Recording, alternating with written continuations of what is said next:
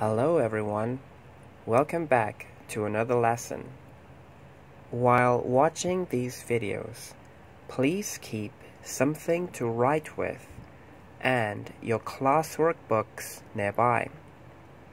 This will make it easier for you to take notes, write down interesting thoughts, and therefore have a better lesson. And perhaps most importantly, although classes have been indefinitely suspended, learning never stops. Let's rock. Questions, questions, questions, comprehension questions. Number one What do diurnal animals do? You can choose one answer only.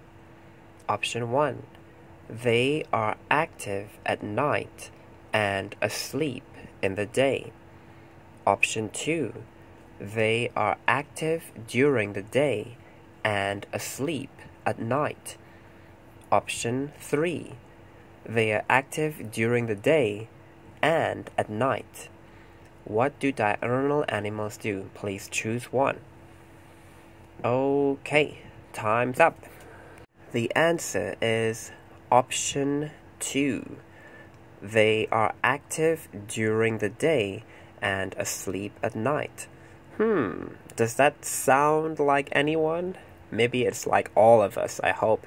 We are all active during the day and asleep at night. Therefore, generally speaking, humans are diurnal animals. The next question, question number two. Name three places nocturnal animals can be found in the UK. For this question, you don't have any options. However, all of the answers were in the reading passage. If you can't remember, you can check your notes or you can go back to the previous videos to see what you can find. Okay, time's up. Well, any three from the following would be okay. Woodlands, towns, fields, parks. However, I have another question. What about in Hong Kong? Do you know anywhere that nocturnal animals can be found in Hong Kong? Would you like to know? Well, perhaps you can check some stuff online, do some research. Okay, I think question number three if you have watched a few of my videos, you really should be able to get this one right, because we we have encountered this word so many times. Question 3.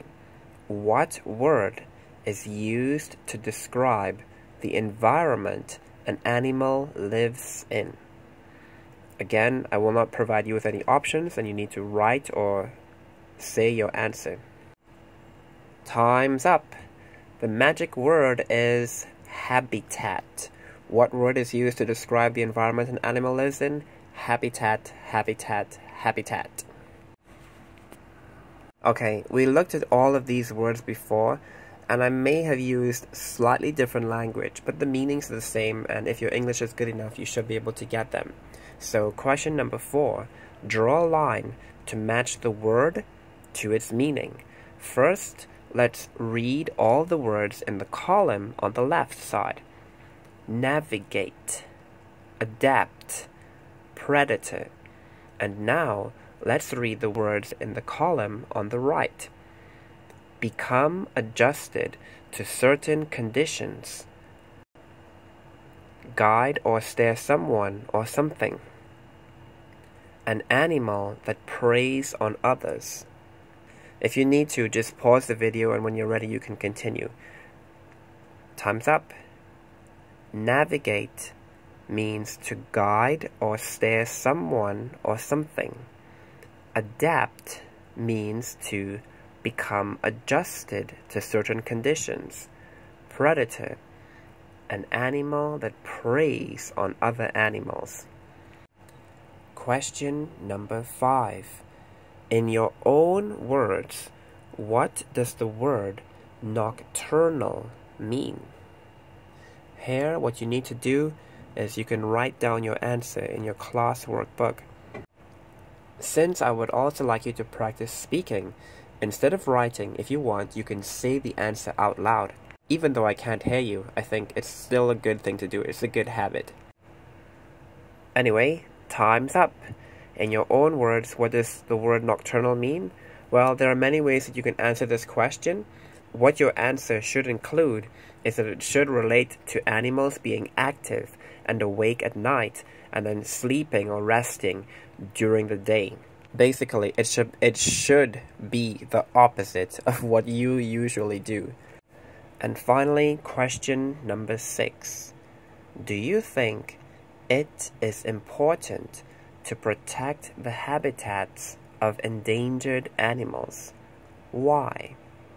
Okay, again, you can either write your answer in your class workbook or you can try to say it out loud and practice speaking, even though you're at home and I'm not there to listen to you and I can't answer anything that you say.